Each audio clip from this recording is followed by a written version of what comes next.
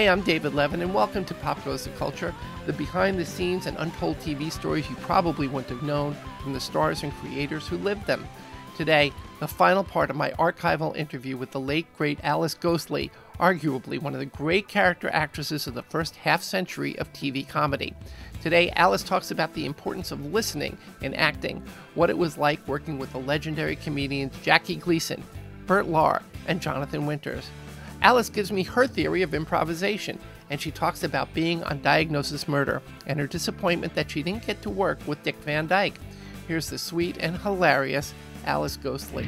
You know, you you've always had really great comedic timing. You're you know you're sort of known for for your little for the takes that you do and and and sort of trademarks that, that you're known for. Yeah, and it's just fantastic. I mean, it's just like watching you work. How when when you were doing these these shows, I mean, you were you were cast basically to play Alice Ghostley. Yeah. Right. Uh huh. How did how? I mean, you know, if I had a question, I would just ask it. Yeah. I'm sort of I'm not sure where I'm leading with this, but when you would go on and do these shows, I mean, did people say, "Okay, now we don't want you to do this," or was it, you know, you were playing your your persona? I just did my own thing, and it always seemed to work. Uh, particularly in uh, uh, I and I don't know how how I do it, except there is one important thing: is to listen to what you're being asked, your cue, in other words, and and for a brief, shining moment, think about what they've said, and then when you answer, sometimes it doesn't always work, but sometimes it does, and it comes out very funny, you know. What um,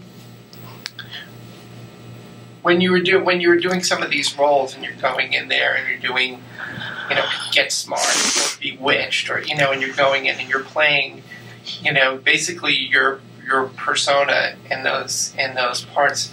How do the other actors respond to that? I mean, is there is there oh, did, is there anybody that you've played with that you've really got? Oh, that really went really well. Really well, uh, Jackie Gleason. he was the best guy I ever worked with, I think. What was that like? Well, we would sit on the stoop of a house and just talk to each other. We'd been engaged for 18 years. And he worked on the subway. and he'd bring me gifts he found on the subway. And one of them was a wig. and I had to redo my hair to make it look like a wig. And one of them was a crocodile with a clock in its stomach. and and then sometimes we'd dance, and it was just kind of discussing the days. It was called Agnes and Arthur. And we never did rehearse. We just go through the lines in his dressing room. And one night we started, and uh, I forgot the line, my line. I just went totally blank, and I couldn't pull myself together. So people knew it was a mistake, you know. And he just went right on with the next line, and we kept going. And then on all of a sudden, he said, "Hey, we've got to stop this now." He said, "There's a noise in one of those lights up there, so we'll fix that, and then we'll just do it over again, start over." Instead of saying the broad made a mistake, so we have to start over, he was that he was that much of a gentleman. Wow, gracious! He was he really was gracious. He was so sweet.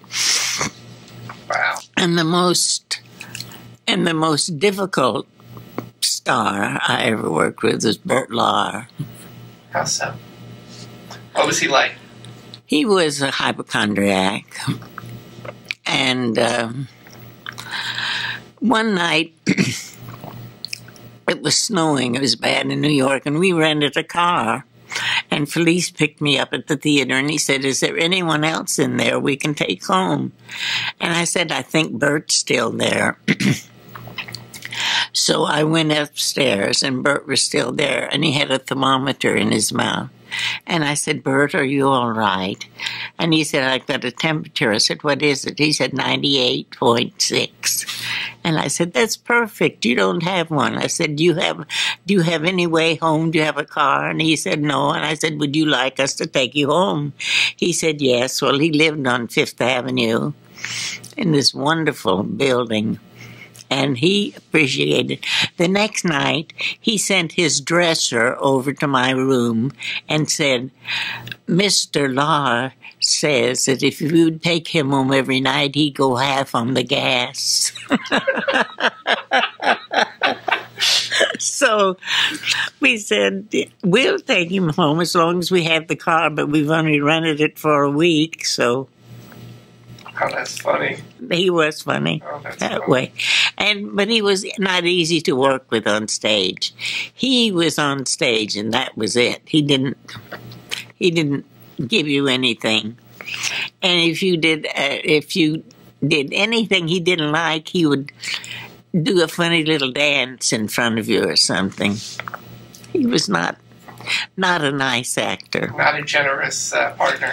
No, not at all. About Jonathan Winters? Well, he's a little difficult to work with. Although I like him and he makes me laugh. He's so funny. But you never know what he's going to come up with. He doesn't come up with the cue, you know. He's just off on his own, being funnier than what's written for him, I'll admit that. But it's kind of hard to go along with it. It's very hard to top him. Uh, do you have an improvisational background? Do I? Yeah. No. No, so it's better to have the lines there. Oh, you yeah. know, Yeah. I've done the, I did an improvisation, improvi- improvisation. improvisation. I did a show that was all impro- improvisation What was once. that? Do you remember? It was just called uh, improvisations, I think, and it didn't last. I think two two times maybe, or maybe we never got it on. But I know we practiced a lot, and uh, I kind of caught on to the way you can start those. You know, if you establish where you are or what you're doing or something, then it kind of rolls along. Otherwise, you just stand and look at each other. I understand. Somebody said to me the uh, the art of improvisation is yes and. You know, go with whatever the other Yeah, person says. yeah, that's what you- yeah. That's the next thing that you have. And just enjoy. You know, like just whatever premise they set up. You know, you just Yeah, say- agree with it. I was there once too. Yes. Uh-huh. Exactly. If uh, you were on Diagnosis Murder, yes, once yeah. What, who did, do you remember who you played? I played a secretary, but I never worked with Dick Van Dyke. Although I would have loved to. I'm very fond of him, and I've never met him, but he seems so nice. Uh, I might have met him when he was younger, when he was in Bye Bye Birdie, when I went back to see Paul, but I don't. Uh, I don't remember that. Do you have a favorite or somebody that you've worked with that uh, that you really enjoyed working with them? Uh, Uh, is there a person that you've worked with that you that you really Jackie Gleason Jack- was the one, yeah. great. And I've enjoyed working with many people, really. Uh, I enjoyed working with Paul and Ronny Graham. And uh, on television, I enjoyed working with. Uh, well, I tell you, I enjoyed working with most of the people I worked with, to tell you the truth. Some nice people out there. Really nice, yes. And everybody is always helpful.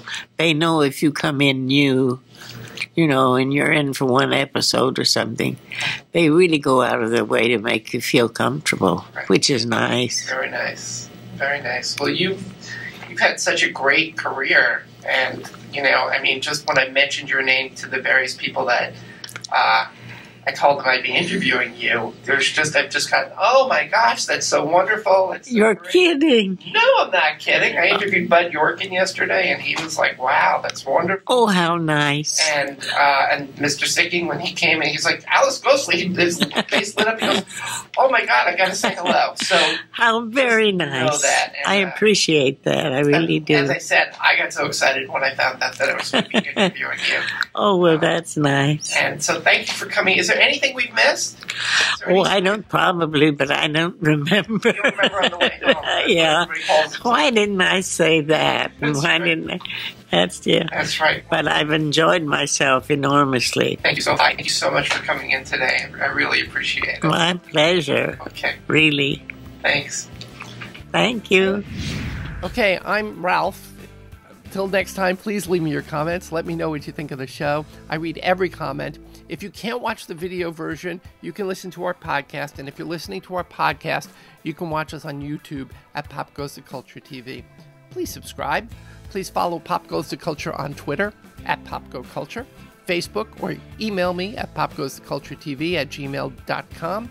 And please subscribe to our Patreon campaign. Just a buck or a buck, a buck, a dollar or two from you can help me keep doing these shows. And for three bucks, you get a chance to be on our live sister show, Ask Them Yourself. Thanks for watching. We will be here again very soon.